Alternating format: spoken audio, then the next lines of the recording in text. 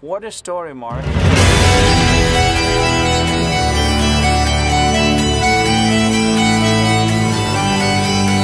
Quick and painful this'll be.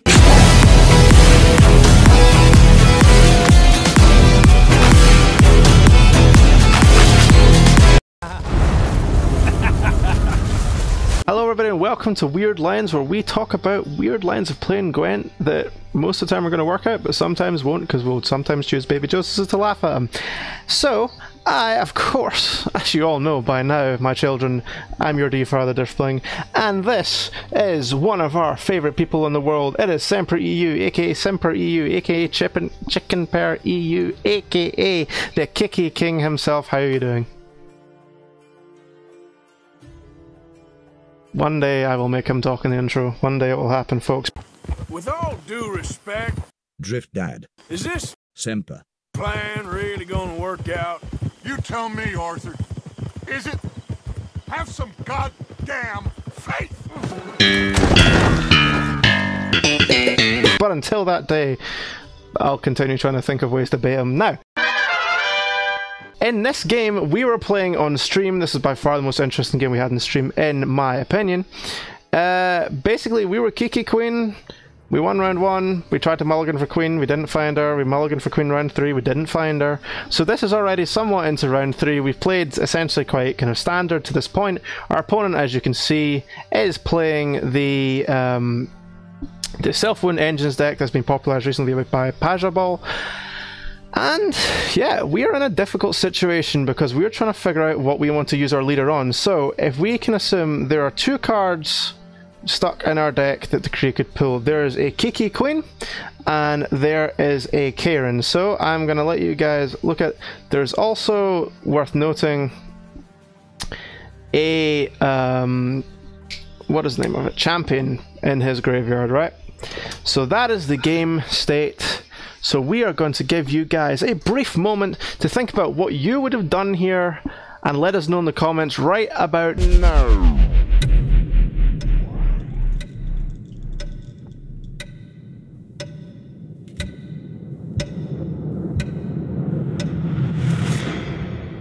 Alright, so we both kind of talk about this one because we had different ideas. Um, you can kind of see me in the top right looking magnificent and debating it with uh, Semper, who we replaced with this wonderful piece of uh, art that I made in the bottom right hand corner there. So the line I was thinking about was basically you play Kayran um, from the Decree and you use a combination of Leader and Corinthia and Dettlaff, and you have enough consumes. If you play Kayran last, you can basically try and avoid the Morkvarg, and you can give yourself dominance over his biggest unit. Uh, so that you can then use your future Barghest procs, and that's basically the way you try and win by having all these consumes late on. Um, Semper was arguing for a line where we decree the Kiki Queen and use an Oslo trick a little bit similar to the one we used in the last video, which you of course have all watched, and you have all liked, and you've all subscribed, and you're all going to send me presents. Now, when we were looking at this, one of the key things we're thinking about is okay, one thing I would like to do, and I was talking about when we time it, especially if we're doing the Aussie line, is when are we eating his graveyard, right? Because we have a Yigard in our graveyard, and he has the champion in his graveyard. So this is kind of the point at which we need to decide what we're going to do. We have one more turn in theory, so I decide, okay, this is the Aussie turn. We need to play around his Jutta, that's Jutta, his uh, Sigdriffin now. Yeah, Sigdriffin now. So this is the turn where we have to Aussie. We actually get an emo out of our opponent uh, for doing it. You know, as a kind of, oh, you've actually played around me. You're not a normal monster player. Uh, but yeah, so from this point on, I mean, you can talk about the two different lines and, and what you think about them. I mean, I didn't necessarily disagree with the Kayran line, but with him not playing, I don't think he played ball, and I think this was like a, a Paja pile on the uh, like on the, the, the priests, the priests and the In Dracul I was trying to avoid, avoid calling it a pile. I mean, Some um, people would argue Paget pile is somewhat disrespectful. but yeah, um, one thing that's worth pointing out, by the way, when we uh, so we do eventually do the Queen line, and we immediately Ozzrel, right? And Ozzrel looks weird, but you have to think of it as the Thrive procs rather than the value of the Ozzrel itself, right? Because the biggest thing playing Queen and Ozzrelling the same turn does for us is it saves the Queen from a potential stunning blow. And when you're playing against Skellige and you're playing Kiki Queen, you have to worry about stunning blow. Also, uh, yeah, we, we, we, we ignore chat, doesn't exist. We, we, we ignore chat. Um, but yeah, basically Igor gets a little shout out. Igor25, hello, thanks for coming to the stream.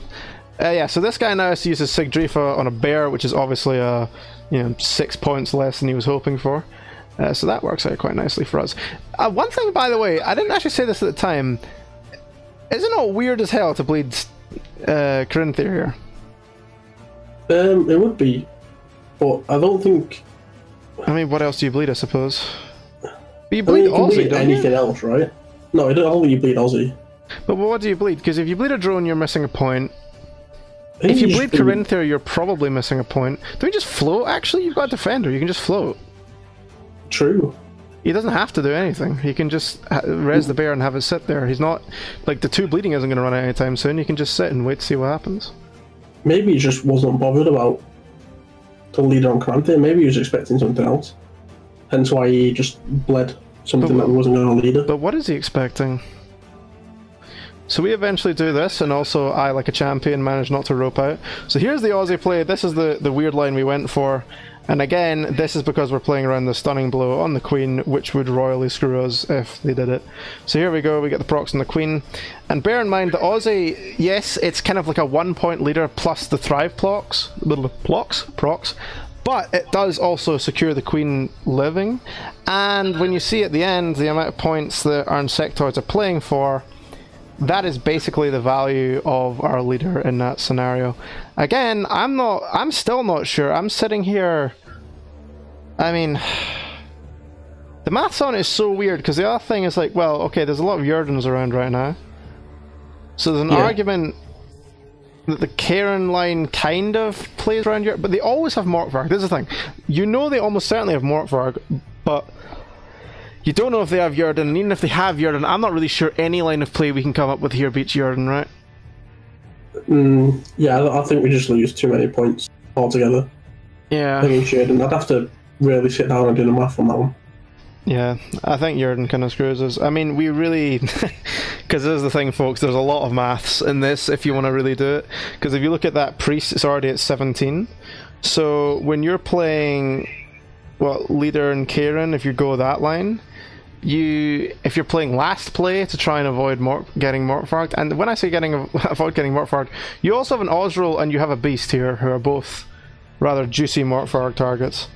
Um, as I believe his last play is to play the Morkvarg on the on the Ozzrel, if I'm not mistaken, or I might do it now. No, so there's the stunning blow. He stunning blows his own Draco, which is um, I feel a bit odd. Maybe it's mathematically correct. I haven't played Draco Turtle, and New Draco Turtle enough to actually know whether that's better than just hitting something of ours. Um, but yeah, Uh, it's Yeah, I don't think there's actually a better stunning blow on our side, to be honest. yeah, it's Everything procs thrive, right? So it makes it thrive easier, I should say. Yeah, so e- even I mean, I suppose there's is, uh, there's not really an argument for killing a drone, is there? Because there's not enough turns for us to proc.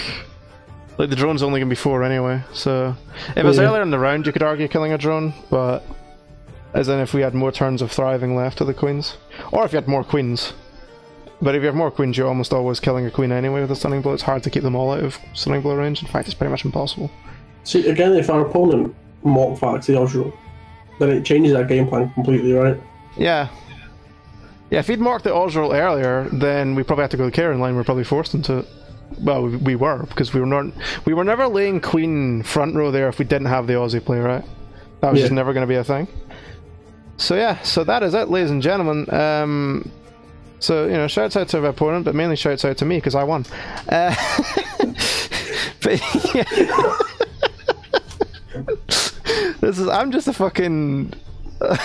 I'm just the jester in the in the the pro team chat. Honestly, I, I just try and make people laugh. So, uh, that is the video. This is our weird play we came out with. So we would like to know: Did you guys see this line? Do you guys prefer the Kayran line? Is there, you know, does anyone think they have a definitive answer into which line is better and why? I'd be really interested in that because we're both sitting here going, well, there's pros and cons to both, and it's especially bearing in mind we're on a timer, we've missed our queen, we're going, oh god, what are we doing? And we're trying to figure it out in the moment. So, you know, do bear that in mind. But yes, this is what we ended up doing. We did just about squeeze a win out of the game, so I feel pretty good about that, especially playing around the stunning blow that the opponent did indeed have. Uh, that felt pretty good. So yeah, did you guys find the line? Is there a better line we didn't even talk about? Should we rename this to Drift Gang? Because frankly, it's all about me. Let's be totally honest about that. With that being said, I'm Driftbling. This has been Semper EU, and we will see you guys in the next video.